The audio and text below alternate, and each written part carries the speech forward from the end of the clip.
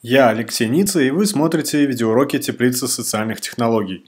Сегодня я расскажу о трех инструментах, которые помогут создавать и использовать палитры, правильной комбинации цветов для вашего проекта, даже тем, кто не обладает специальными знаниями в области дизайна. Цветовая палитра поможет сделать ваш проект визуально привлекательным и понятным для пользователя. Поэтому, начиная работу над дизайном, необходимо определить комбинацию основных цветов, которые наиболее полно соответствуют вашему бренду и идее проекта. В веб-дизайне используются хекс-коды, названия цветов в 16-ричном формате, которые поддерживаются всеми браузерами.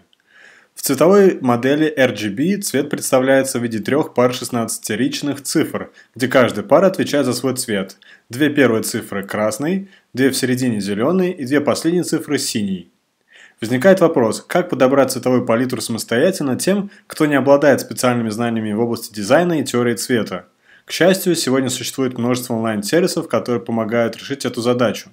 Сегодня я расскажу о трех из них. Первый – Color Hunt. Это коллекция цветовых палитр, которая пополняется другими пользователями и дизайнерами.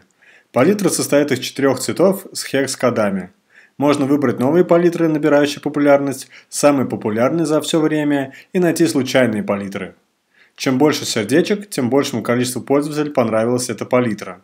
На данный момент самой популярной считается вот это. Также можно создать свою палитру, перейдя в раздел Create.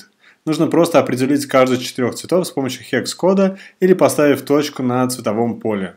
Создавая свою палитру, можно, например, узнать мнение людей о вашем выборе. Второй сервис – Coolers. Название сочетает в себе слово cool и colors. Это инструмент также для поиска палитр и создания своих. Удобство этого сервиса заключается в возможности экспорта палитр.